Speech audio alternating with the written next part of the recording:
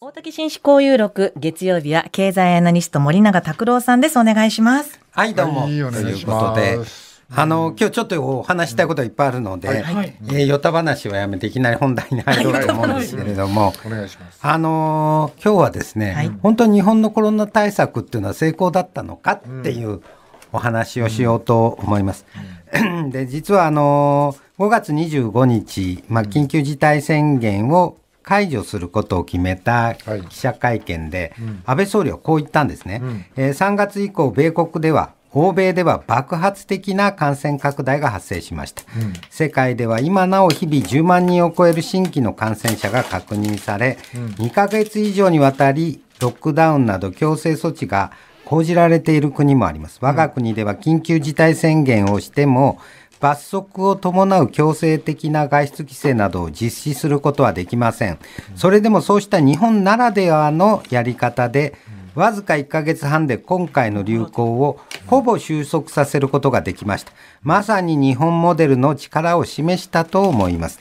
すべての国民の皆様のご協力、ここまで根気よく辛抱してくださった皆様に心より感謝申し上げますって言って、まあ、日本のコロナウイルス対策が的確で大きな成功を収めたんだ。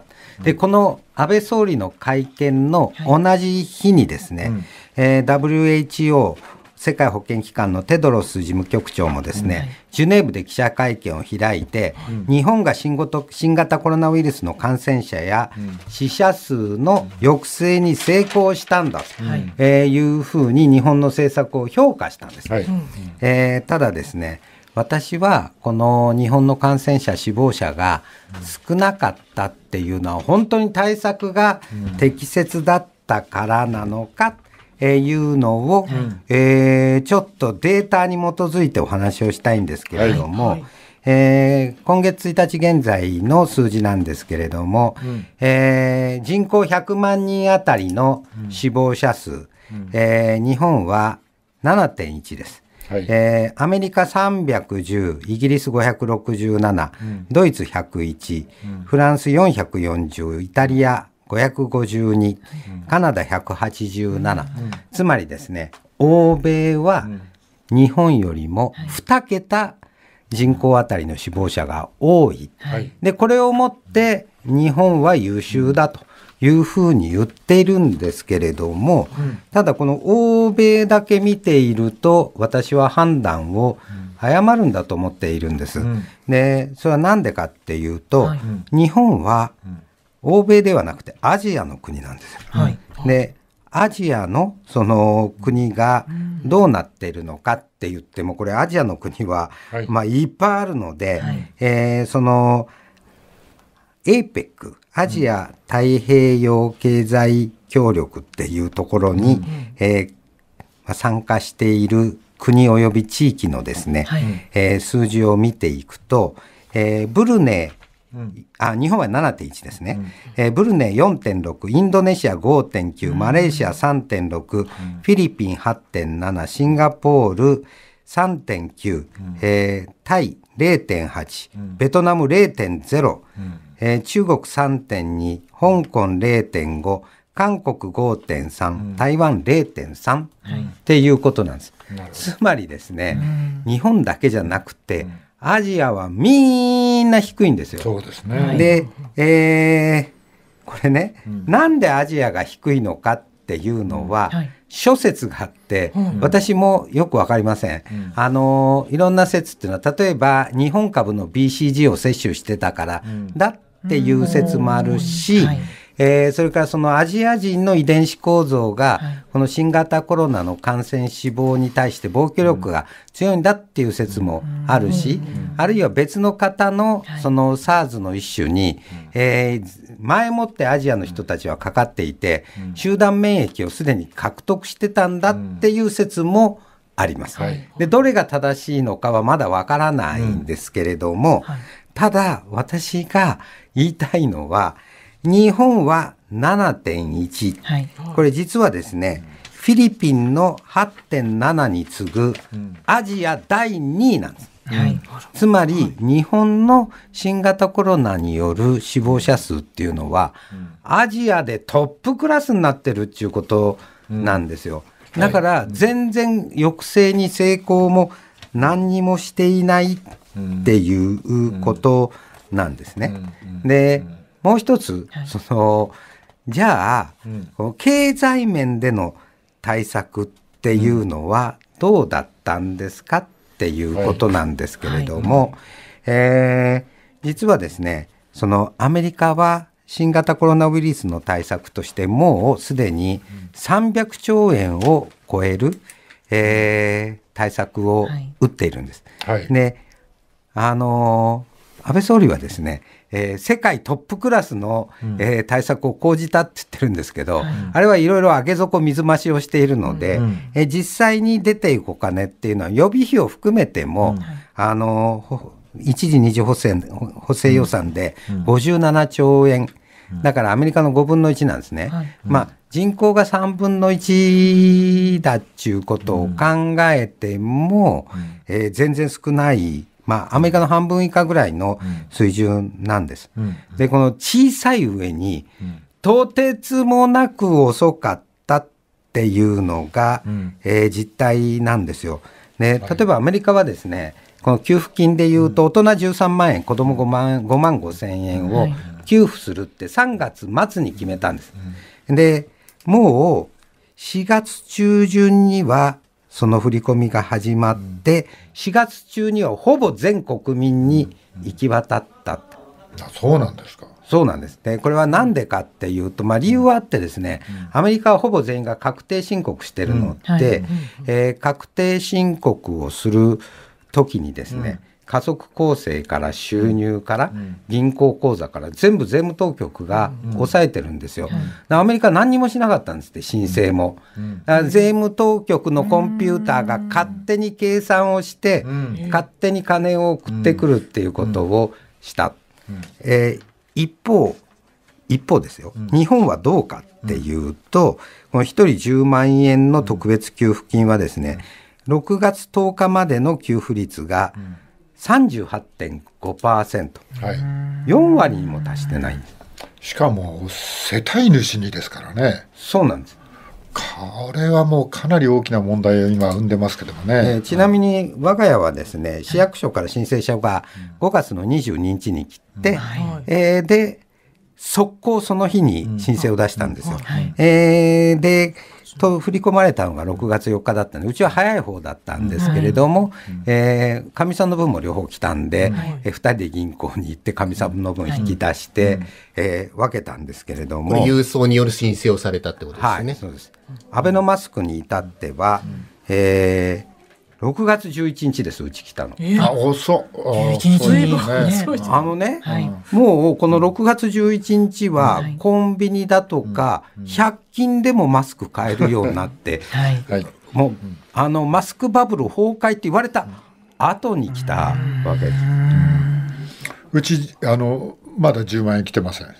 ああ、だからね、これ、その、小さくて遅い。うん対策の結果、これが何何が起こったかっていうとですね、はい、えー、世界銀行っていう国際機関が、今年の経済成長の見通しを出したんです。はい、経済成長率がどうなりますか、はい、えー、なんと日本とアメリカぴったり一緒のマイナス6.1%でした。でね、これ実はアメリカのコロナによる死亡者っていうのは日本の44倍なんです。はい、つまり、はるかに大きな被害をアメリカは受けてるわけですよ。はい、にもかかわらず、成長率は日本と一緒っていうのは、要するに小さな被害なのに、経済はドカーンと落ちた。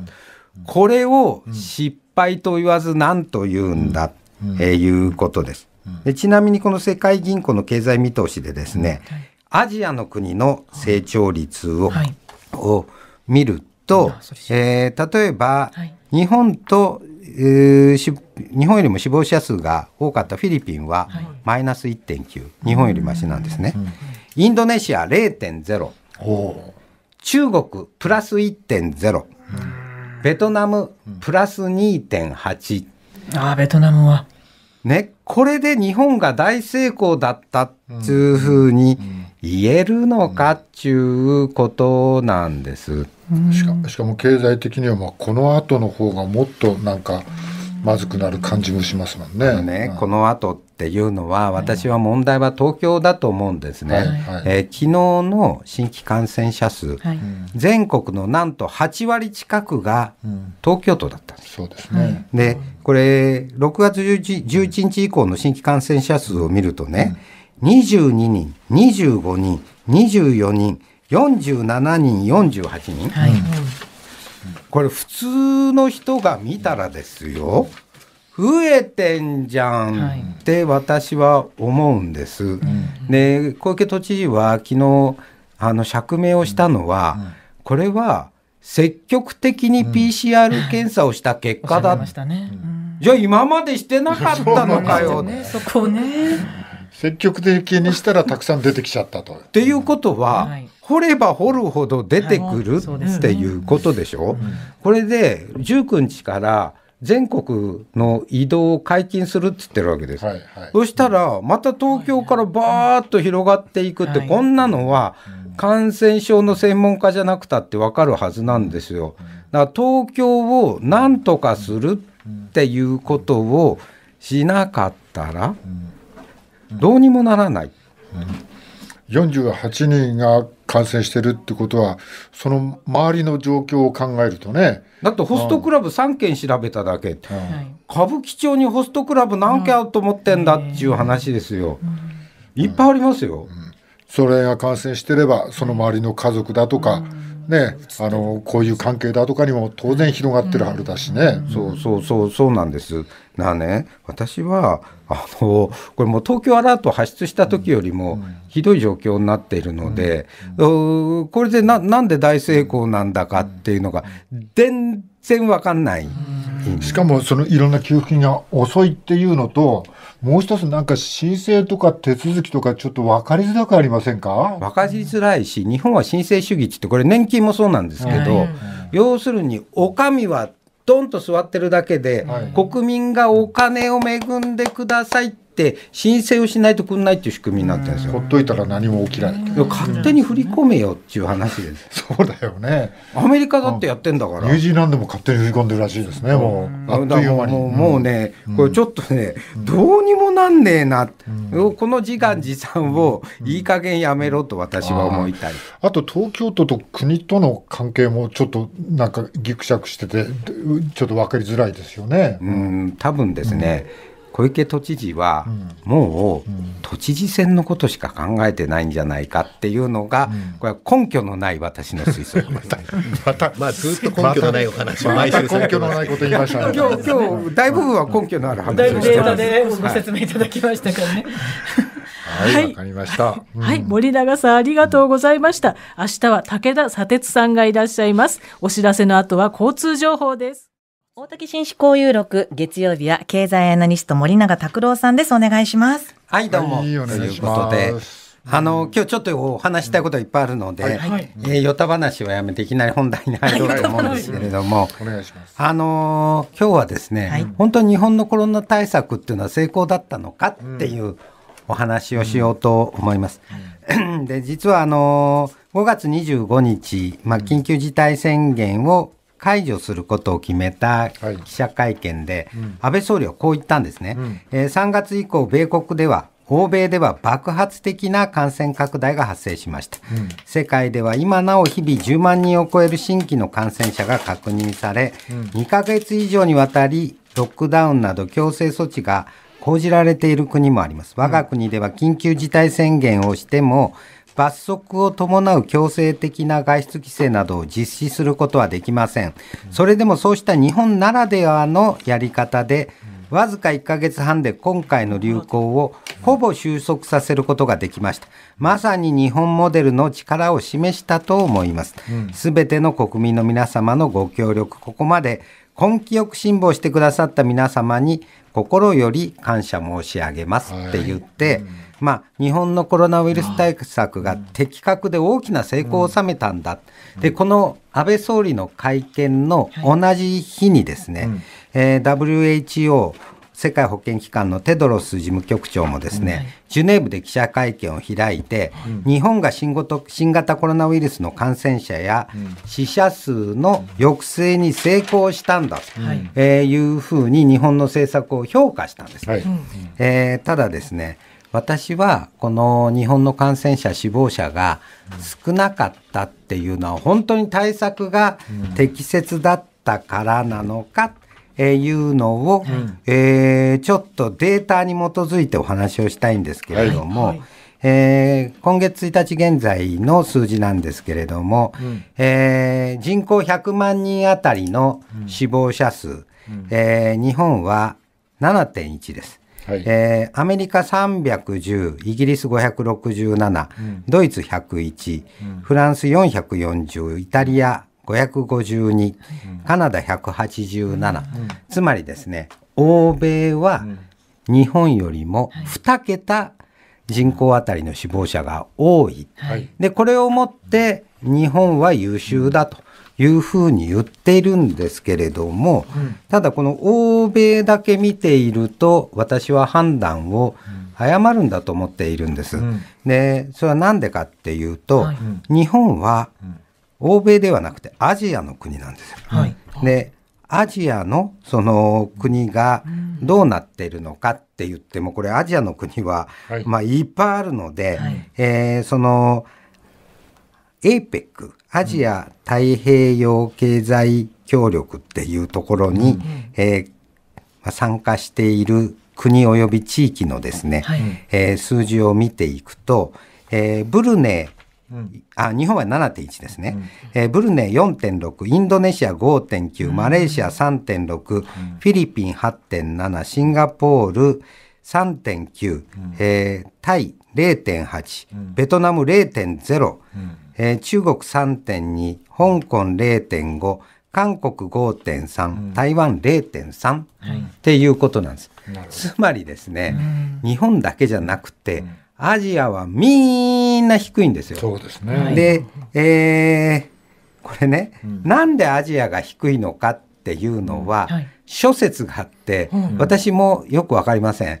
あのいろんな説っていうのは例えば日本株の BCG を摂取してたから、だっていう説もあるし、はいえーそれからそのアジア人の遺伝子構造が、この新型コロナの感染死亡に対して防御力が強いんだっていう説もあるし、あるいは別の方のその SARS の一種に、えー前もってアジアの人たちはかかっていて、集団免疫をすでに獲得してたんだっていう説もあります。はい。でどれが正しいのかはまだわからないんですけれども、ただ私が言いたいのは日本は7.1、はい。これ実はですねフィリピンの8.7に次ぐアジア第2位なんです。はい。つまり日本の新型コロナによる死亡者数っていうのは、アジアでトップクラスになってるっていうことなんですよ。だから全然抑制に成功も何にもしていないっていうことなんですね。でもう一つ、そのじゃあ、この経済面での対策っていうのはどうだったんですかっていうことなんですけれども、えー実はですねそのアメリカは新型コロナウイルスの対策としてもうすでに300兆円を超える、えー対策を打っているんです。はい。であのー安倍総理はですね、えー世界トップクラスの、えー対策を講じたって言ってるんですけど、あれはいろいろ上げ底水増しをしているので、えー実際に出ていくお金っていうのは予備費を含めても、あのーほ一時二次補正補正予算で57兆円、だからアメリカの5分の1なんですね。はい。まあ人口が3分の1だっちゅうことを考えても、えー全然少ない、まあ、アメリカの半分以下ぐらいの水準なんです。で、この小さい上に、とてつもなく遅かったっていうのが、えー実態なんですよ。ね、例えばアメリカはですね、この給付金でいうと、大人13万円、子供5万 ,5 万5千円を給付するって3月末に決めたんです。で、もう4月中旬にはその振り込みが始まって、4月中にはほぼ全国民に行き渡った。あそうなんですか。そうなんですね。これは何でかっていうと、まあ理由はあってですね、アメリカはほぼ全員が確定申告してるのうんで、えー確定申告をする時にですね、家族構成から収入から銀行口座から全部税務当局が抑えてるんですよ。でアメリカは何にもしなかったんですって申請も。税務当局のコンピューターが勝手に計算をして、勝手に金を送ってくるっていうことをした。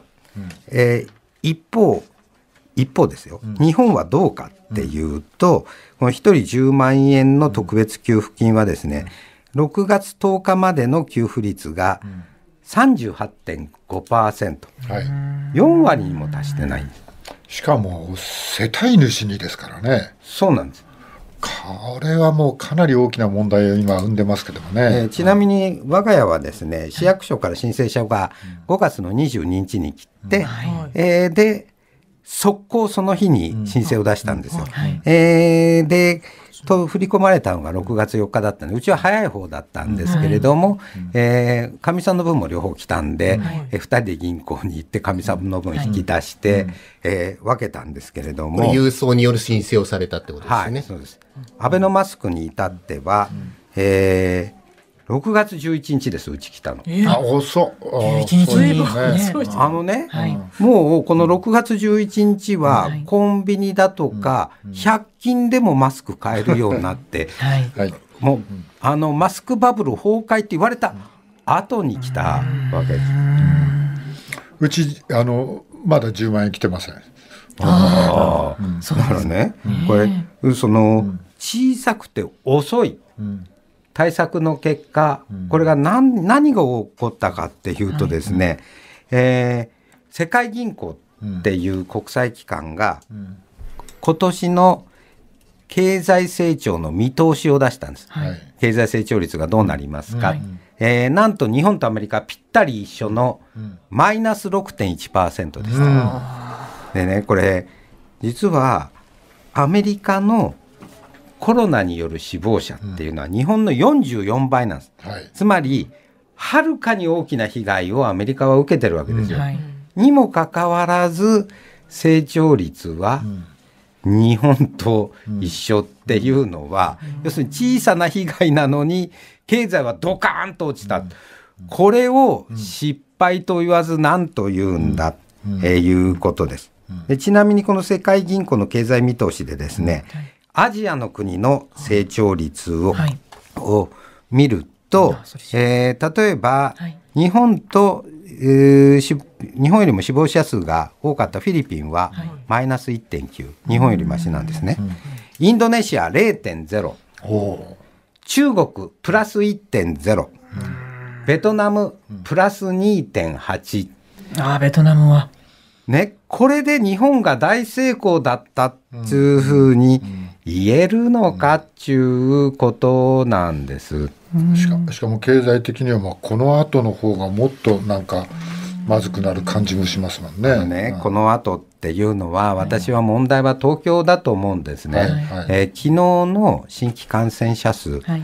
全国のなんと8割近くが東京都だったんです。そうですね。でこれ6月11 11日以降の新規感染者数を見るとね、22人25人24人47人48人、はい。これ普通の人が見たらですよ増えてんじゃんって私は思うんです。で小池都知事は昨日あの釈明をしたのは、これは積極的に PCR 検査をした結果だ。うん。じゃあ今までしてなかったのかよ。ね、そこをね。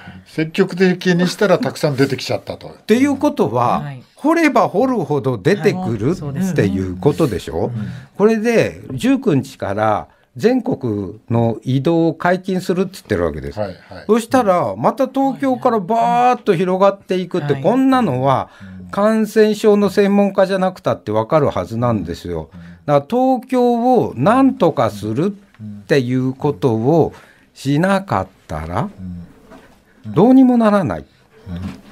48人が感染してるってことはその周りの状況を考えるとね。だってホストクラブ3件調べただけ、歌舞伎町にホストクラブ何件あると思ってんだっていう話ですよ、いっぱいありますよ、それが感染してればその周りの家族だとか、ね、あのこういう関係だとかにも当然広がってるはずだしね。そうそうそうそうなんです。なね私はあのこれもう東京アラート発出した時よりもひどい状況になっているので、うん。これでななんで大成功なんだかっていうのが全然わかんない。しかもそのいろんな給付金が遅いっていうのともう一つなんか申請とか手続きとかちょっと分かりづらくありませんか？分かりづらいし日本は申請主義ってこれ年金もそうなんですけど、要するにお上はドンと座ってるだけで、はい。国民がお金を恵んでくださいって申請をしないとくんないっていう仕組みになってるんですよ。ほっといたら何も起きない。勝手に振り込めよっていう話です。そうだよね。アメリカだってやってんだから。ニュージーランドも勝手に振り込んでるらしいですね、もう。あっという間に。もうね、これちょっとね、どうにもなんねえな、この時間時短をいい加減やめろと私は思いたい。あと東京都と国との関係もちょっとなんかぎくしゃくしてて、ちょっと分かりづらいですよね。うん、多分ですね、小池都知事はもう都知事選のことしか考えてないんじゃないかっていうのが、これは根拠のない私の推測です。また、まあずっと根拠のないお話毎た週根拠のないこと言いましたね。今日今日大部分は根拠のある話をしてます。データでご説明いただきましたからね。はい、はいわかりました。うんはい、森永さんありがとうございました。明日は武田砂鉄さんがいらっしゃいます。お知らせの後は交通情報です。大竹紳士交友録火曜日の担当はフリーライターの武田砂鉄さんです。よろしくお願いします。よろしくお願いします。なんかあのタブレット潤さんがモノマネしてくださって、そういやいや、あの、ええ武田さんはね、俺ちょっと似てたような気がする。そうですね。僕も聞いててちょっと似てましたけど、まあでもなんか味わったことのない不快感というか、不思議な感覚でしたけどね。まあまあでもありがたい。たい。うそのちね、これがね、あの、意外と快感に変わってあそうですね。快感ありがたいですね。意外とね、背中合わせですから。はい。で、えっ、とまあ明日でまあ国会閉幕するっていうことで、まあこのまま幕引きでいいのかっていうことを話したいんですけどね。まあもちろんダメなんですけれど、はい。まああのこれだけねいくつもの疑惑がまあ宙ぶらりんになっている状態でん。終わってしまうと、もう謎だらけで終わるってこれ、はい。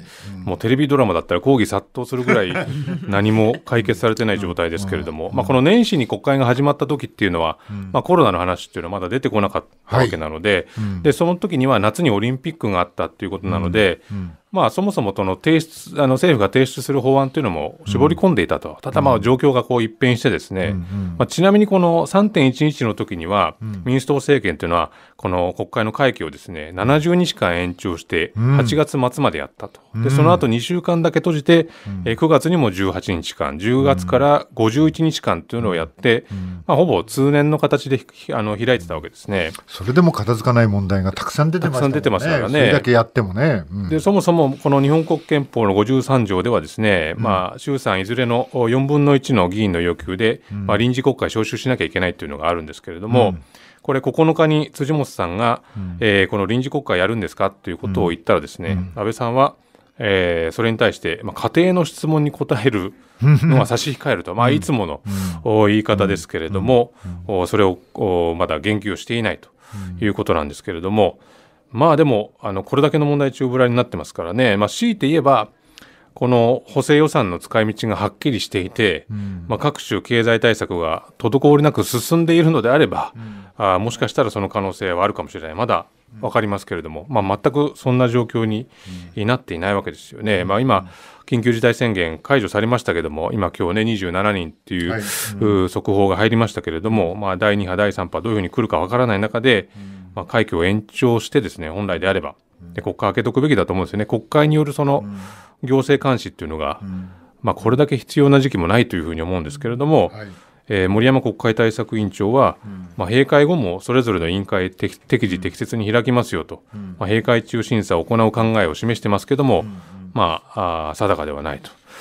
でまあどういう問題残ってるかっていうとやっぱりまああー補正予算の中でね予備費10兆円をどういうふうに使うのかと、はい。まあ、これはリーマンショックとか3.11の時の数倍に及ぶ、まあ、巨大な予算で、まあ、本来であれば毎年度は、えー100兆円の予算規模のうち予備費ってのは0.5%、まあ、はい。5000億円ぐらいなので、まあ、20年分ってことになりますけども、そんなになるか。まあ、この10億円のうち、まあ、野党が要求してですね、ようやくその半分5兆円の使い道が決まって、えー雇用調整助成金などの個人への給付に1兆円、中小企業への持続化給付金家賃支援などの事業者への給付に2兆円、えー地方に向けた医療介護の体制強化に2兆円、まあ、半分用途がわからないんですけれど、まあ、決まっている半分についても、まあ、ここ数ヶ月の流れを見てみると、どうしたってこれは怪しさ満開というんですかね、疑ってしまうっていうのはしょうがないところで、しかもすんごいざっくりとした数字でまあすよね。かなりざっくりですよね。これしかもあれでしょ政府が決められるんでしょ？その5兆円そうですね。だから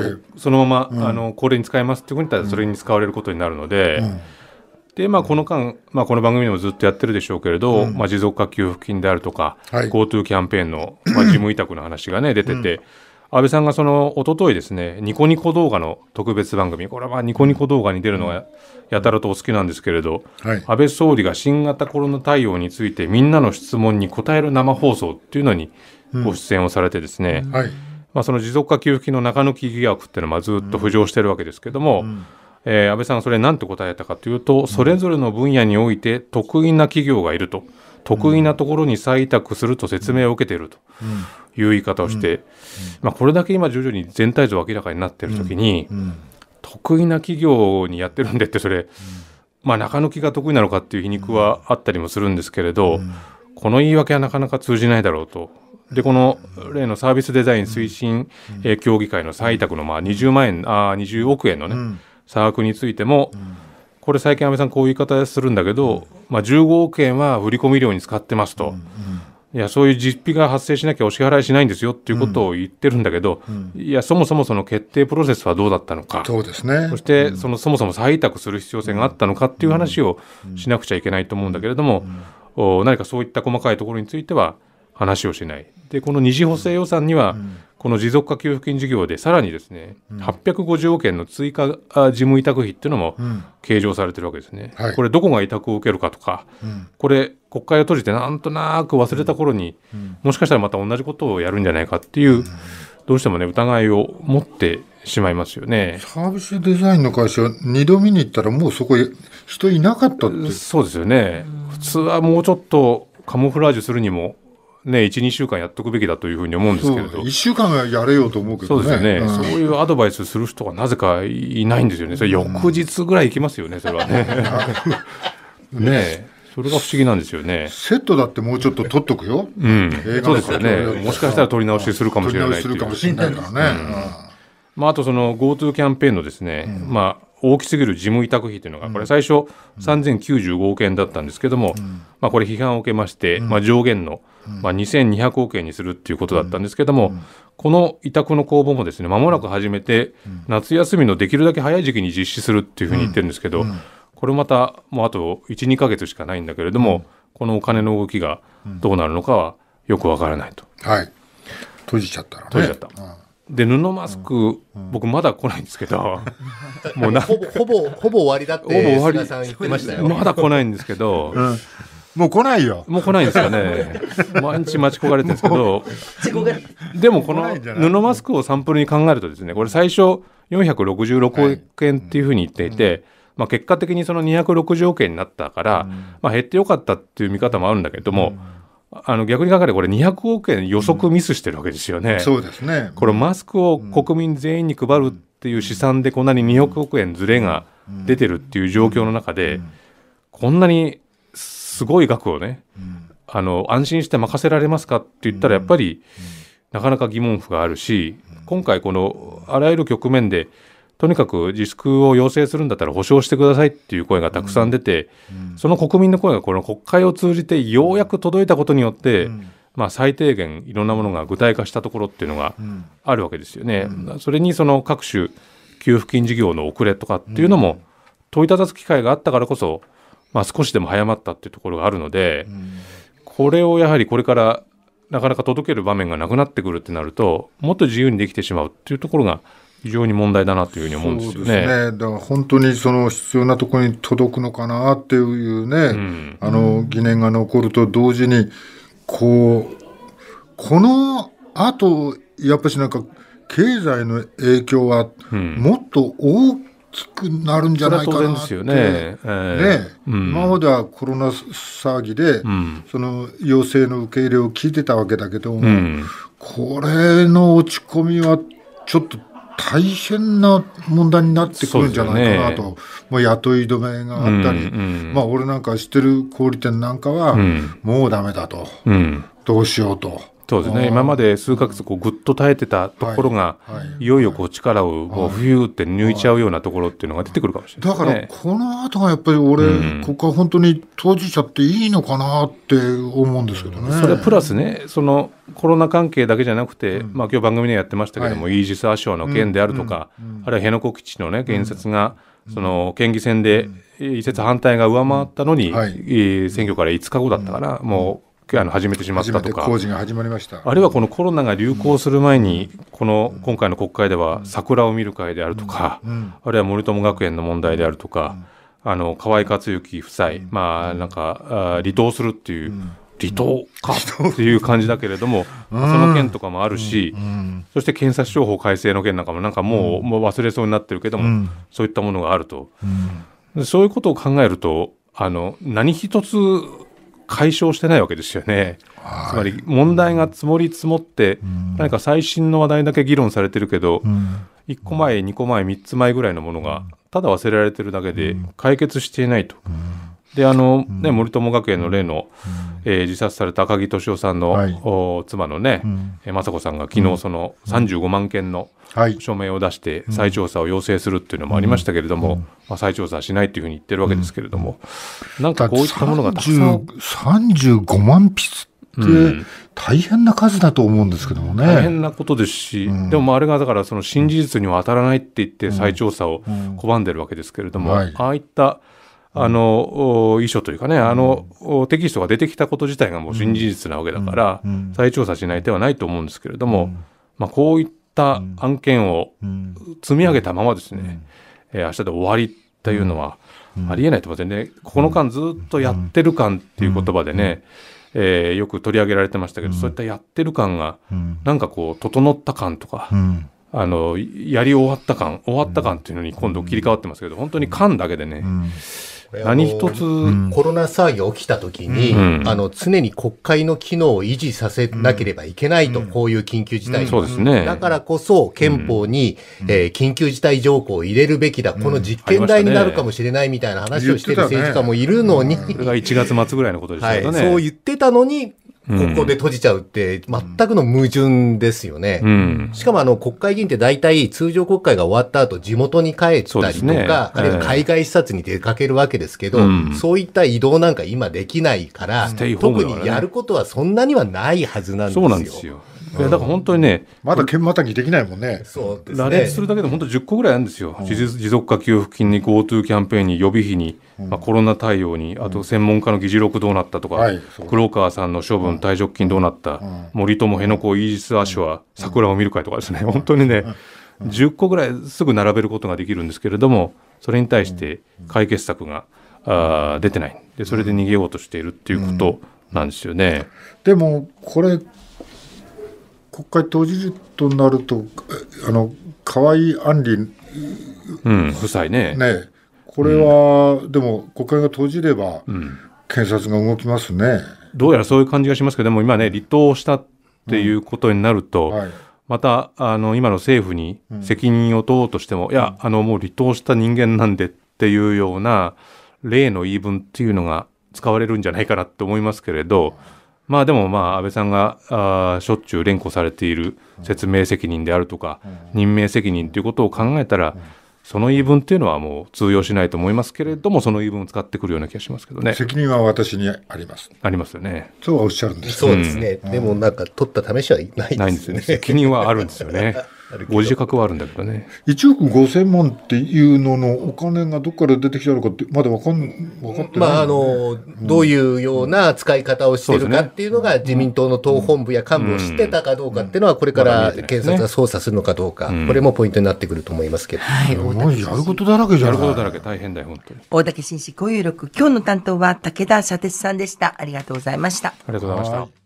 続いては大竹紳士交友録毎週水曜日は北郎教授です。はい、こんにちは。はいこんにちは。何の話をしてるエッチな話してた。君、本当エッチだね、断蜜はね。興味はある。興味ある。うん。でも、意外と客観的だよね。客観的ですね。うん。今日長袖のシャツ着てるねうん当たり前だよ。怒られちゃうもん。肌見せちゃいけないですもんね。大老人きいパンツ。俺なんかね、もう、玄関でね、いまだにね、ハンカチ持ったって言われるんだぜ。小学生じゃない。愛されてるええ年取ってまた言われるようになったわけじゃないんだずーっと言われて今日まで来たってこと？そうだね。ハンカチ持った携帯持ったお財布持った？そんなことはハンカチだけ。ハンカチだけなんだ。それ言われないと忘れちゃうんですか？違う違う。あの、新しいハンカチ持ったっていうことみたいね。古いものをくしゃくしゃにしてポッケに入いれてまつまでもせんか持ってんじゃないよっていうことなんじゃない、でも愛されてますね。愛されてるんじゃないんだよ。いや愛されてるよね愛されてるよ。だって亭主がハンカチ2日目だったら恥ずかしいっていう概念があるんですよ。しかもお見送りしてるってことですもんね、毎日。やだら、ブおラブ見送りしないの？いやいや、全く無関心ですよ。ラお見送りはするだろするだろ、そう言ってらっしゃいって。私、ええもう何十年も見送られたこと一回もないですよ。ただ、最初から？一人で出てくの？そうです。行ってきますって言わないんじゃない？じゃあ。まあ、大体私をあ出るときみんな寝てるんで、行ってきますって言わないの？えだって寝てるもん。行ってらっしゃいの邪魔しちゃいけないでしょ？なしたことないよ、ないそんなの。けど、行ってきますは一応。ないですないですあ、そう。はい。何十年も全然ないの。ゴルフの時は一人で勝手に起きていくそ当たり前だよ。えー、太田さんちなんかドライだね。うん、太田さんちはね、大変だよね。大変、大変。大変だよね起こしちゃダメなんですね。起こしちゃダメですねい。やいや、あの、ちょっとね、あの、宣伝、ちょっと最初にね、戦前宣伝。あ、戦前。あの、ごめんね。いやいや、戦戦前最初にって意味わかんない戦。争前じゃないんだから。あのあれで察せろよお前はすいません、ね。ガードルいやいやいきなりいきなり集中いやいい宣伝の話はいやいやいいしないでしょ？宣伝悪いけどって言ってんだけど。いやいや、あの、戦前の話終わりになっちゃうといつももう言えなくなっちゃう。忘れちゃうしね。はい。映画がね、金曜日に、今週の、金曜日に。6月19日。うん公。開されあさってじゃん。もうそうこの時期にだよ、うん。水曜日が消えた。金曜日に？水曜日にこの水曜日に水曜日には消えたっていう映画の宣伝？そうそうそう、あそういえば水曜日だね、今日水曜日ですね。お前なんで笑ったんだ今？え？いやいやそういう意味で笑ったんじゃない金曜金曜日の言葉に俺は引っかかったんだよ断蜜の。金曜日金に日なのにっていう言水曜日消えちゃうの？いやいや。あそこで笑ったのか。うん、水曜日が消えたっていうね、中村智也君が主演の映画でね、一週間ね、7人いるんですよね。そうそうそう智也さん。が。で俺はあのその精神科医で出てるんだけど、このね、あのまあまあ内容は7人智也君が演じるんだけど、基本はそう最初台本もらった時もう去年だけど、何を言いたいのか何が書かれてるのか全くわからなかった。難しいの？で、二度読んだらは、もう、ビタッと分かって、映画を見たらね、より分かった。こういうことがやりたい、やりたいんだってことは。分かんなくて出てたんだじゃ、じゃあ、2回読んで分かったっつってんね。大体分かったってクリアじゃない？いやいやクリアな感じがしないじ水曜日が消えたって今、ダンミスが言ってくれた、言ってくれたけど、月火水木金土、日が一人一人違う人物の多重人格ね。曜日ごとに変わる7人の俺。前の日のことを覚えてなくて。あ、お医者さん役なんだ。そうなんだよ。精神科医だよ。うん。それで、見る方なの？見る方。見られる方じゃないの？患者さんじゃない。患者さんだったらぴったりだぴったりだけどね、うんまあまあ映画の話なんだけど水曜日は消えたっていうだけでねあのードラマチックなんだよ。劇的なんだよ実に、なんていうか不思議な映画なんだよ。いなくなっちゃうと一人の人間だからうね、ん、いなくなれないですうね。ん。水曜日のその人が消えるだけなんだ。よ、そうすると火曜日の人は水曜日もあの生きてられるわけ。生きてられるっていうか彼女とか、みんな好きな人が違うわけだから大変なんだけど、同じ人と2日も会えたりとかいろん火曜と水曜がつながるわけだ。劇。は繋がんないですね。劇的な変化なんでそれが。提督なんか一週間じゃ聞かないですよ。何が？女性の話じゃないんだよ。いろいろなことそんな話どこでしてるんだよ。7人以上いる？タコ何言ってんだよ。もうあれだってぐたっとしてるっつってんじゃないか年中。いやいや、何が？何が？この時期だから、ぜひね、あの、席の間隔を空けて見てくださいね。おソーシャルディスタンスですね。まあ、俺は、あの、大した役じゃないけどね。もう、智也君ファンはたまらない。あそう。うん。前のワンシーンワンシーン。そんなことはないけど。精神科医の役ワンシーンだったらちょっと物足りないいやな。ワンシーン4カットぐらい。いやうんい1時間で撮り終わっちゃうよ。意外少年時代から7人の僕を見守る医師って書いてある。そうでしょ？安藤って役です。意外と意外とね、えー悪いんですよ、これが。悪い人なの？悪くはないけど、実験材料として見てるラット扱いだ。ラットちゃん扱いだ。まあまあ、それでね、あのー高速道路、俺はあの、中央フリーウェイうん。使うでしょ？はい。中央高速。なんだその言い方。中央フリーウェイ。あのね、ユーミンみたい。ユーミン4、4号線だろ？あユユーミンあ。俺、ちょうどね、あのー帰り際ね、あの、右手に競馬場、うん。左手にビール工場。俺そこ走ってたんだよ。じゃその歌がラジオから流れてきて、お、すげえちょっとちゃんと片手で肩抱いてました？俺の抱いてる、あ、知ってるね、内容。片手で持つハンドル片手で肩抱くんですよ。そうだよ。大してるって言っても風が吹いて、その言葉が飛んでっちゃったんだから飛んでっちゃうこれね、楽しそうだな、チキ照明。その、そこ走ってる時にその歌聞くことはあるんじゃないの？そんなことない？いやいや、まあ、あの、ラジオだよ。自分の、年中流れてんだよ。そのなんか 4なん号、かだない。はい4号線あたりは。ちょいちょい流れてる。それでね、この道はまるで滑走路、うんうん夜空に続くこので。道はまるでえ、滑走よ夜だったんですか？それも。いやいや、夜じゃ夜夜じゃない。夜空に続くっていうのを聞いてて、空を見たんだよ。走運転しながら。だからダメじゃないか、空なんか見ちゃう。見て一秒以上て、ね正面にあるんだから、ものすごい広い空。まあね、空はね、道はまるで滑走路でした？もう滑走路だった夜空に続いちゃう？そう、で、スリーナイン？そう。まさに、まあ、高井戸からあの先あたりは、あれ、ビルもそんな大きくないからね。そうそうん空が開けるかもしれないね。それが流れながら、あの、聞きながら、運転してなきゃ。流れながらじゃないね。だから聞きながら流れてるの歌を聞きながら。うん、聞きながら。そうしたら、その空の今までも何度も走ってる道だよ。うん。お空こんな大きかったんだって。あジジイのロマンティックは嫌だね。いやいや、感動しちゃったよ。ロマンティックなロね。マンティックじいさん。ジジイさんの。もう二十歳の時ならわかるけど。でもこの歌の2番知ってる？知らない。初めて会った頃には毎日ドライブしてたのに、うんこの頃はちょっと釣れないね、送りもせずに。あ、知ってるね。あ、歌詞完全に頭入ってますね。そうなんだよ。こんなハッピーな、あの、歌かと思いきや、意外と送ってくれなくなったねっていう、男女の当たり前の関係をこう、描いてるよね。おたけだって親しくなったらもうね、そんな送らないよね。送んないよ。勝手に帰れって。終わった後も優しい人がいいな。だから最初は優しいんだよ。だからこの歌のようにちょっと最近冷たいねっていう風になるんだね。街の日がやがて瞬き出す？もう好きなんだ。ユーミン、ユーミン好きユーミン。別に。お前それ大胆な意見だな、随分。それだけ歌詞知って俺はて。ユーミン好きだね。ユーミンの歌？バイオンなんだぞ、あいつ。え？バイオン。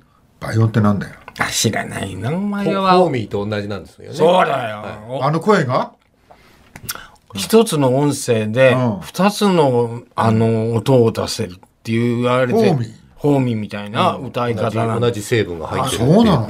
うん説があるらしいですよ。だからなんかね、ああ、そうなの？あのーなんだこの声はって思わせるなりずっと聞いていたくなる。ね。ね。断密、あの、ユーミン好き？別に。命の花とか全然知らないし。俺はね、前話したかもしれないけど、武道館でユーミンをエスコートして登場したんだことなんだ何ぜ。だから何役もないだよ、北郎さんで。太郎さんが北郎さんの役で。え、ユーミンのコンサートに出たことあるんですか？コンサートとか、なんとかコンサート。あの、いろんな人が歌うコンサート。いいなそんなことしたことあるなんでの階段の途中でずっこけたりしなかったちゃもんちゃんと手を、手を、手を持って。いつも絶対どっかでずっこけてるからなこいつずっこけてそうです。前にもちょっと話したから、まあいいんだけど、それでね、そういう感動がね、あるんだよね、やっぱね。日常的にね。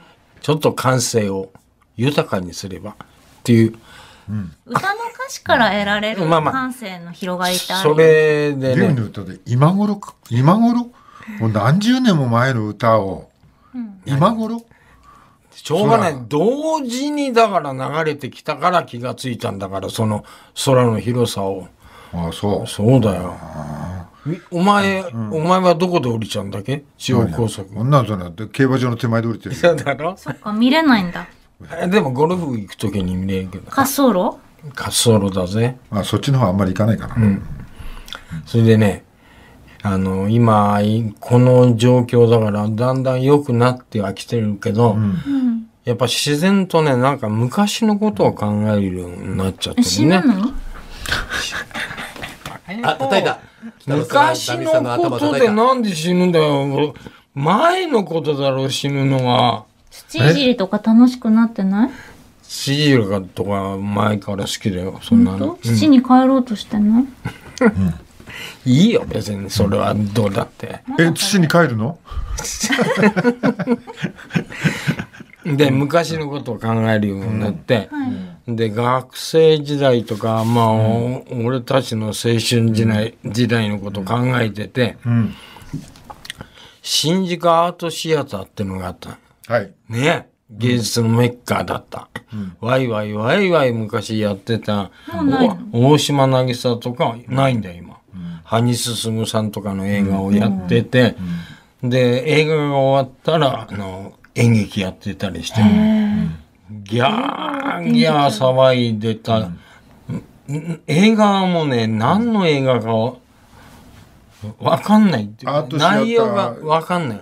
難しいっていうか。ななんだっけ ATG ですか。ATG, ATG の映画だよね、うん。それでね、ハニスムさん8に。月の濡れた砂とかそうそうそうそう。そうそうそうそう。ハニスムさんに引っかかってね、うん。オッケー？うん。丸ってハニ何スメがハニスハニスムさんの、どうしたん。だよ、うん。おを調べ、喫音でしょ、あの人。あの、あの、大江健三郎とか、はいはいはい。あの、うん。どもりっていうか、まあ、喫音で喫音ですね。話話通じるから喫音でいいよ、う。ん。で、竹光さんとハニスムさんが高橋徹さん？うん。はいはい。対談してて、ベートーベンはね、喫音だったんですよ。うんうんあの運命のね、ダダダダーンっていうのは、あれは喫音から生まれてるんだっていうことを、話本当なの竹光徹さんが言ってんだから。なんか本当っぽいね。本当なんだって。終わっちゃったそれよ。でびっくりして、いろんな、あのーその対談面白かった。YouTube で見れるから、見見るといいかもしれない。YouTube の宣 YouTube あるんですよ伝じゃん。やってる。あそう、うん。今日、今日、あのーとりあえず YouTube 見てっていうのと、7人のやつ見てっていうのと、教室の子供たち。水曜日が消えたですよね。7人のやつじゃなくて。うんさあ、ここでお時間です。北郎教授また来週もよろしくお願いします。ね明日のこの時間は、やつい一郎さんの登場です。お知らせの後は交通情報です。大人同士のガチンコトーク大竹紳士交友録月一レギュラーやつ一郎さんです。どうもです。よろしくお願いいたします。来ましたよい。やー、あのー皆さん、どうした？えー先月はまあもう覚えてらっしゃらないかもしれませんけども、先月ちょっとお話ししたかったことがあったんですが、何？えー全然喋れなかったんですよ。えーそんなことある？はい私たち。これトークが盛り上がっちゃってってことですか？トークが盛り上がっ月一レギュラーの方がき持ってきてくれたネタを私たちは聞くっていうコーナーで、そうですよ。いつも聞いてますよね。反抗したことは一度もないよ。い。やそうだったんですけどそれであのーさあ喋ろうかなって思ったんですけど、お前それより又吉と同じような髪型やめてくんないか。いやいや、俺の方が先ですよ。だって俺の方が年顎ひ上あね、顎ひげ生やしてさ、ベレーをかぶるからさ、チェ・ゲバラと間違えちゃって、あ私確かに雰囲気似てますね。ドキッとしちゃうの。いやいやいや、そドキッとするほど似てないでしょ。全然。しかも時代も違いますし、え、チェ・ゲバラって思うやつの方がおかしいでしょうよ。えでもいチェ・ゲバラちょっと意識している、まあ、みんなには分かんないだろうけど分かるやつには分かるなぐらい いやいやいや。のなんかその辺のちょっと思い込みがあるんじゃないいやいやいや、確かに私もね、あの、チェ・ゲバラと同じ全速持ちなんですけども、別に革命家ではないんですけど、まあ、ある意味フェス界の革命家と言ってもおかしくないのかもしれません。ということで今日お話ししたいことがあるんですけども、よろしいでしょうか？すんなり話持ってかれちゃいましたねなんかね。頑張れ、大竹さん。俺我慢だけど頑張れって何ですか？頑張れって何ですか？この前も大竹さんの蕎麦屋のね天ぷらを食べたいけど、の天ぷらを単品では頼めない。そうだ。そうだ。だ。けど天ぷらそばだったら頼める。え？なんでですかっていう話を10分されて終わってしまったんですよ。あ、そうか。あ、どうなりました？天ぷら。俺のうちの近くに、あの日本そば屋さんが3軒ある。うん。1軒は7時に終わる、1軒は8時に終わる、で1軒が9時に終わる、なんだその3匹の子豚みたいな話。なんなんですかその。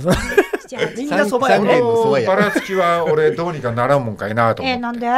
で A 店は7時に終わるんだけど、ここは冷やしきつねが非常に美味しい。冷やしきつね、あ、好きですもんね。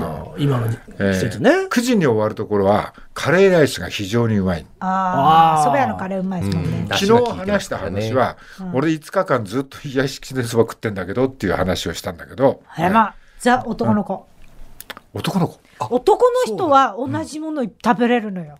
女の人ってやっぱりね、あの、ち一口ずついろんなもの食べたいで、やっぱ毎日違うものを食べるのよ。あやつゆは？やつゆまあいろんな、いや僕もあの全然違うもの食べました。今日は、あの純菜そば食べました。お美味しそう。純菜が落てるそろそろ季節なんでしょうね。まあでもやっぱりいろいろ、俺もいいろんな、いはい。言ったらもうあれだよね、何にも言わないで冷やしきつねそばが出てくるぐらいの男よ。大手さん昨日は冷やしきつねを5日連続食べたっていうのを前振りで話をしようと思ったその後が思い出せなくて結局オープニング終わっちゃったんですけどああ、残念でした。それを思い出しました。うん。明日で、でも、それは。思い出さないまあ思い出さない。ってことは7時に閉まる店にずっと行かれてるってことですよね。いやそれがね意外と7間に合わないの7時って、早いね7時は。いや、そうでしょう。で、でも、5日連続で食べてるんですから、7時だ俺はまで1日2食だから、はい9時頃本当は食いたい食いたいのよ。あ、夜ね。一日二食。夜の9時となるとやっぱカレーライスが美味しい店しかやってないですもんね。そうなんだよ。ちょっと重たいか冷。やしきつね5日連続で食べたのは8時に閉まるお店で食べたんですよねいやいや点々としましたよ。取り調べなんですか？取り調べ？うんうなんですかその8時にこれ食べたんですよねとか。いやだから、さい最後のあそうだ思い出した。それは大した話じゃないんだけど、じゃあやめましょうか。いや、あうん。ややめてもいいんだけど、はい。まあ一応でも一応ちょっとだけ聞きたい聞聞きたいきたいわ聞きたい聞きたい聞きたいしょうがないな、あの、冷やしきつねと、あの冷やしきつねセットってのあるのよ。はい。はいで冷やしきつねセットっていうのは冷やしきつねにはいカレーライスをつけていいわけよ。はい。でそこの店はカレーライスの美味しい店なのよ。ああ、なるほど。ね聞きましたそれはなるほど。はいうんでカレーライスちゃんと食いたいんじゃん。うんそうですね。だから言われた時に、んあのもう何回も通ってる店だからね、はいはいあいやそうじゃないと、冷やしきつねとセットにしないでカレーライスと、両方くださいと、ただ全部食えないから、冷やしきつねのそばを少なくしてください、あ。ああ、先月聞いた話にすぐ似てますね。似てる。いつもいっぱい食べれないから。両方食べたい。はカレーライスに変わっただけで、天ぷらがカレーライスに変わっただけなんですよ。はい、お時間来てしまいました。いや月一レギュラーやつ一郎さんです。終わってないだろう。その話本当はしたかったんだけど昨日思い出せなかったんですえ？えうんこんなに伸ばします？大竹さん自体がそんな乗ってないんですよ、この話に。もそんなにあの怒ることないだろチェ・ゲバラ君やついの話していいよ。似てない、似てない。同じものを食べるのもゲバラ君そんなに怒んなくたっていいじゃない怒ってませんよ。すいませんでした。そんな。ちょっと声を荒げてしまいましたけど。まさか2ヶ月連続この流れでいっちゃういや、と思わなかなんかったもんやついフェスの話したら負ヒヤカムけだみたいなね。ズ・ザ・フェスティバルっていう T シャツ着てそうますよ。なんです。これも今日似てるね冷や冷やあ冷や冷や冷やしの冷や。冷やしきつねに似てる冷やかぶザフェスティバルから冷やしに行きますよ。これは違います。これこれ何ですか？あ気づきました？これはあの今回ですね。いや、私気づいてない。気づいたの太田さんだから。はい綺麗な色ですよね。黒地に青いそうなんですよ。この T シャツさすがお目が高い。これ何の T シャツだと思います？知らん。フェスティバル。なんかフェスティバルがあるんだなって思いません？近々。そうなんですよ阿波踊り、阿波踊り。え？高円寺の阿波踊り。それはまだまだ先じゃないですか。狂気な狂気な阿波ね、踊り。それ又吉君が言ってましたけどね。うん、そうじゃないんですよ。でもへ普通フェスティバルは今ねこのご時世やんないできないんですよね。できないやってそう。ない。すべてのフェスが中止になっているんですが、なんと、はい、あそうなんですよ。そうなんですよね。冷やし中華と同じぐらいですね。もうお祭りが、私も作ろうかな。うん作ったらいいと思う。台所で。うん作ったらいいと思うし。だけど台所の蛍光灯が怖くてな。うん、なうん、蛍光灯が怖いんですよね。チンチロチロチロして。あー。チロチロチロついたり消えたりする。だだけどね、やっから古いやつちゃんだ。あげるって言ってるだろう。あ勝手に置けばいいだろう。うん、お守りにしますね。久しぶりに俺実家に久しぶりに実家に帰ってきた感じになってるんですけど、何なんですかこれ？はい、お時間来ちゃいまし来てない。来てない。来てない。なんでそんなに切ろうとするんだ？お大人同士のガチンコトークどこ行ったんだ？おい虫トークじゃないか。お前たち3人のゲスト呼んでの完全に蚊帳のだって外で、やついフェスの話するんでしょ？なんで嫌なんだよ。迷惑かけてねえだろ。な夏井君は冷やしタヌキについてはどう思ってる冷やしたぬきについてまあでも夏だったら美味しいと思いますけどね。あそう。人間ってうん、うん狐顔と狸顔にどっちか絶対分かれるんだって、ごいますね。ご自分はどっちだと思います？僕はどっちでしょうね。もう。僕は狐です。ああそうですか。狐ですね。僕は狐です。僕はだから狐かな？タヌキではない気がしますけどね。狐か一緒そうみ水浦さんはタヌキかもしれないですね。え私狐だよタヌキですよ。だって小学校の時狐って言われたもんじゃあ狐だ。狐ねとということで。タヌキが両方入ってるメニューを冷やし無地なって言うんですって無事なって言うんだ。お時間が来て来てしまいまないでしょ大竹さん。大竹紳士交友録。交わる遊ぶやつ、まじ、全然交わってない今。無地な遊びずーっと平行線。大竹紳士平行録だ今。ずーっと平行だ。あいいねそれ。大竹紳士平行録。なんか。やったね。北郎さんの時平行録でい？いじゃないいやも今日もト平行録。ークのソーシャルディスタンスまだ続いてるんだから待ってくださいよ。これああさってなんで。あさって？あじゃあ言っ20た方がいい。日土曜日。そう。言った方20がいい。日土曜日。20日土曜日。あさって。ユーミンでもかける？いらないユーミンでもかけちゃおうかなユーミンもユーミンも素晴らしいアーティストですけど、そういうアーティストがなんと258組もええ総勢集まる、えーオンラインのフェスを、えー私主催しましてオンラインやついフェスっていうのがあさってからあるんですよ。どうやって見るんですか？これを先月からずっと言おうとしてるんです。20日21日の土日ですね、はい、20、21土日で258組が、えっと、11個のプラットフォームを使って、えー配信するという、はい。フェスをおやることになりまして、これがあの全部無料。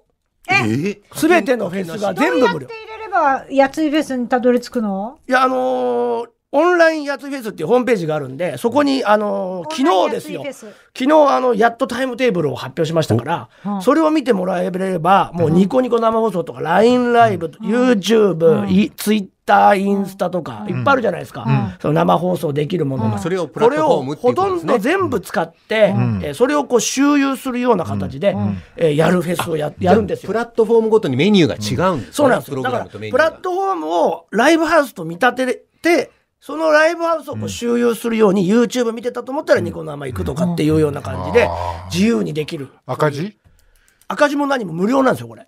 だから？で、もちろん赤字です。あの、フィジカルの中止、フィジカルのやついフェスを中止したことで、まず赤字になっちゃったんですよ。ああその小屋代のキャンセル代チケットの払い戻し代。お前お前払うの？まあ、僕ら、僕と、その、僕主催なんで、うんそれと、あの、まあ、一緒にやってる会社とかと。わであ、これをどうにかしないといけないっていうことで、オンラインやついフェスティバルをやることにしたんですけど何百、何百万？えっと、700万以上ぐらいのえー赤字が出たんですよ。で、これを、とりあえず、いやいや、拍手じゃない。小刻みなくれや拍手。がくれよ。アッシュ &D。どうしようなんかアッシュ &D の、あアッシュ &D のアッシュ &D の若手も出るんですよ。芸人さんもいっぱい出るっていうアッシュ &D コーポレーションっていう名前で出るんですよ。あ、本当に？はい。うん。阿佐ヶ谷姉妹とうん。ラブレターズ、ギースがみんな出て、あら、何するの？ネタもやるし、歌も歌うっていうことで、で一緒に出てくれたりするんですけど、まあ、お笑い、おまあ、あの、ミュージシャンもいますし、アイドルの方もいますし、この番組とか、まあ、大竹さんとも仲いいというところで言うと、宮沢明夫さんとか、知り上がり寿さんって漫画家さんとか、吉田剛さんとか、ね、そういう、そういう。浅見今さんも出ますよね。はい、浅見さんはミュージシャンとしてこう弾き語りで出てくれたりするんですけど、まあ、あの人力車の若手も何時間ぐらいやってます。これが、えっと昼の2時から夜の10時まで。これがずっとあの2日間。うわでミッドナイトやついフェスっていうのもやるやるんですよ、これは階段階段をやろうと思ってまして。階段作るの？怖い怖い話。やそう階段師の人たちを集めてあ、そう。はい、やるんです。うん階段持ってないですよね。チンチロリンチンチロリン。階段？はい持ってます階段。お化けは出てないけど、完全にお化けが出そうなホテルで寝たことはある。うん。怖くない。壁にね、爪のギーって跡とね、あのね、ベッドに長い髪が落ちてて、人型に歪んでたの。でも私酔っ払って帰ってきたもんで、あーお化け出そうって思ってるうちにもうね、気づいたら寝てた朝になってた。あらじゃあよかったですねお化け出なかった。あよかった完全に出るが揃ってた。うん、よかったよかった。ねそれで、そういう、ねそういう話も、あの、してもらえるミッドナイトやついフェスもあったりして、だから2日間いい？出ていいですよ。今ので。はい。出ていいです。あの、今ので。そうそうたる怪談師の中に一人その話してください。あ、じゃあ嫌だ。そんなわがままでしたか？ねえ頑張ってきたでしょ僕たち。すごい大変なところに、あと無理やり誰でね、背中を押されて入れられて、そこでもなんとか結果を出してきたのが僕たちじゃないですか。ね。うん、そそこには何ですかもう嫌だなんて。いつかそんな、そんなベテランにな、いや、悲しいな、三浦さん、それは。そうか、49歳になったけど、まだ若い。まだまだ若手でいきましょうよ。ねえ、お願いします。出てください。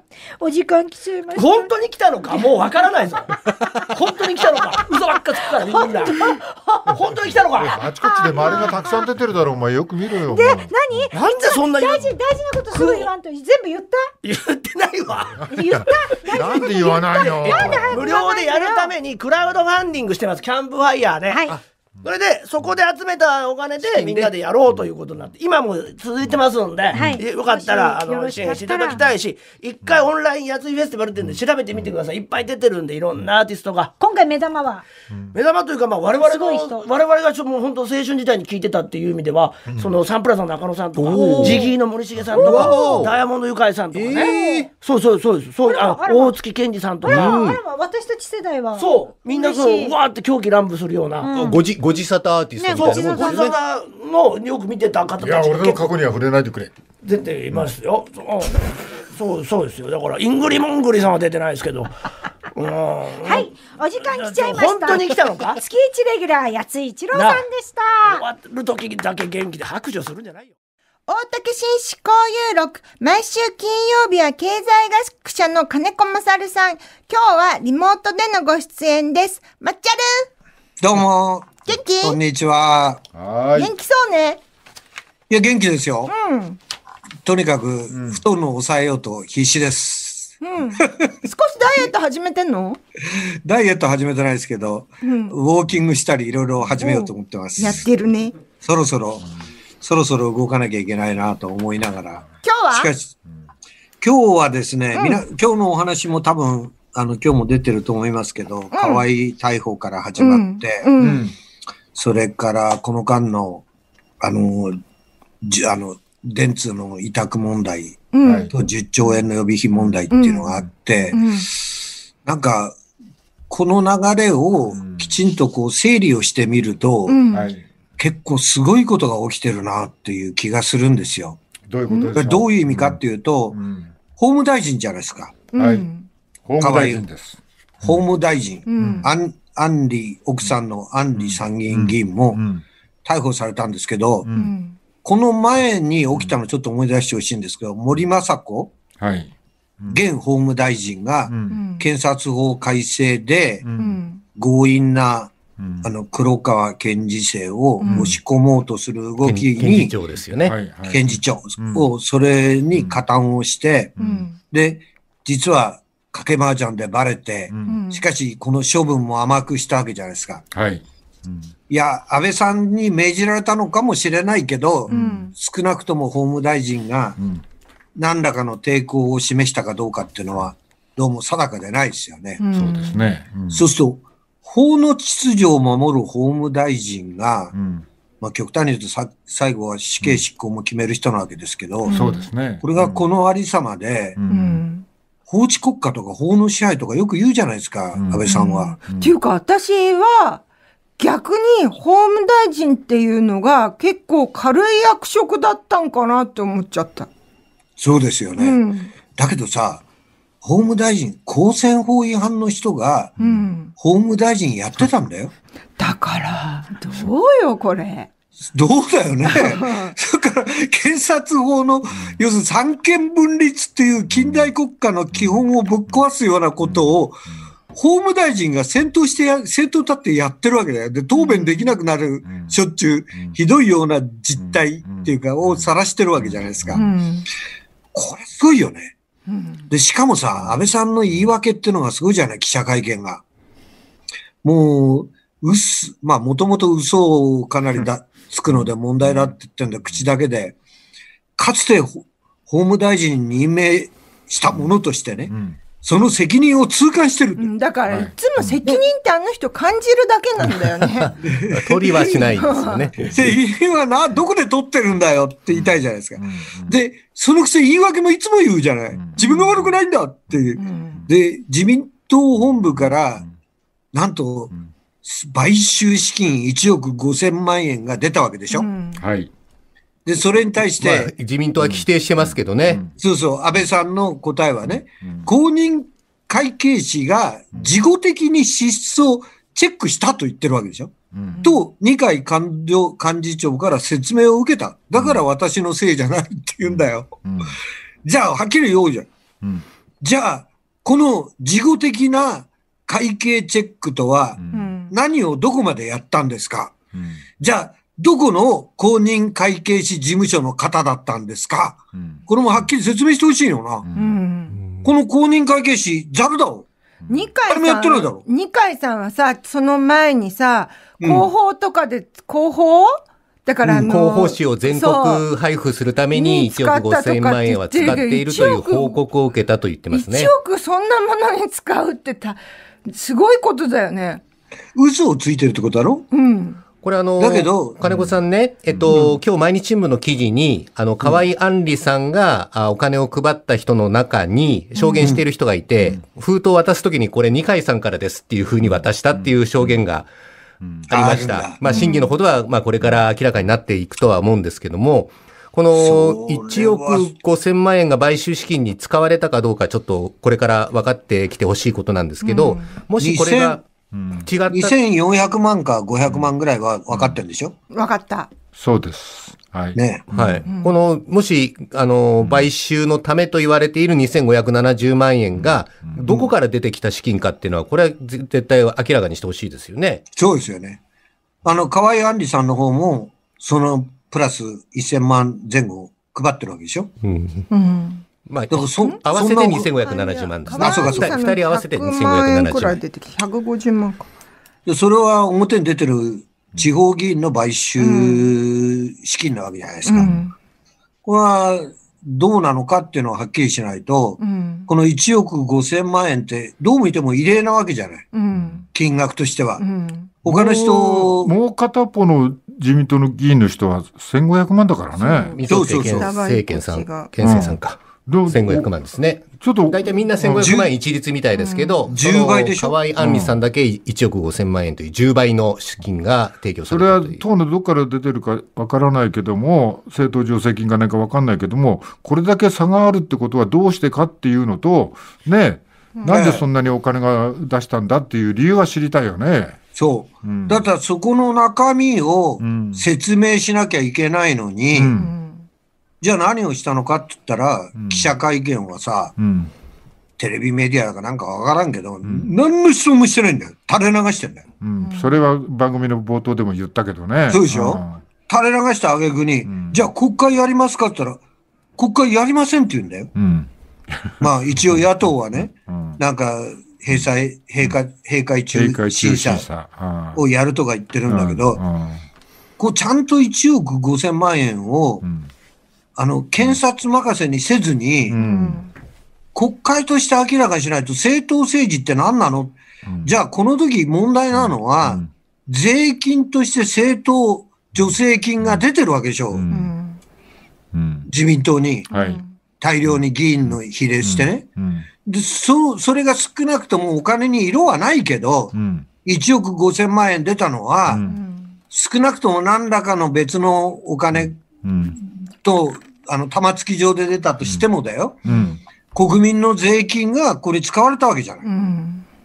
で、そのことは説明責任は絶対、あれでしょう。あの、無視しちゃいけないわけでしょ。そうですね。でそういうふうに考えると、これはすごいことだなと、法務大臣が公選法違反を先頭を立ってやって、しかもそれを、あの、任命権者も一切説明せずに、いや公認会計士がやったからって放置してるって、これは許されないですよ。で、きちんと説明しない限り、もう必要にそういう要求を、あの、野党がやらなきゃ、もう本当に何でもありになっちゃいますから。そうだよね。で、すでにそ、すすでにね、この間、前回も少し言いましたけど、あの、やっぱりね、よくよく考えてみても、この10兆円の予備費っていうのは、憲法違反だわ。